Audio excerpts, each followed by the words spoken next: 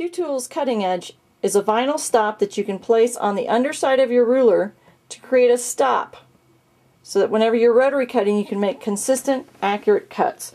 Notice how having this on the underside of my ruler catches the edge of my fabric. Look how easy this is to apply. On the underside of the ruler, we're going to place our cutting edge. I'm going to be cutting one and a half inch strips. So let's count one and a half, and then I line up my cutting edge.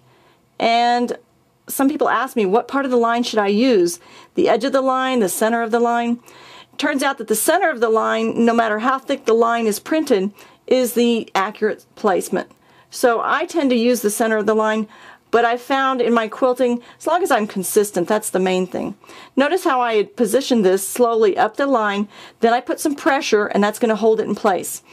If you find cutting edges not sticking to your ruler, what you need to do is wipe it off, wash it off with some soap and water, and it will stick again. Oils and dust will keep it from sticking.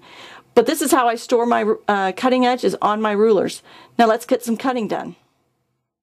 Here's my fabric already trimmed with a straight edge and I'm ready to rotary cut with my cutting edge catching up against the fabric. You can see it pushing the fabric. I'm lined up, make sure my folds are parallel to the ruler and I'm ready to cut. And before I take my hand off of my ruler, I will pull the fabric away, making sure that I got a good cut. And then I can slide my ruler over and my cutting edge catches up against it and I'm ready to make the next cut. Q-Tools Cutting Edge. A faster, easier, accurate way to do your rotary cutting.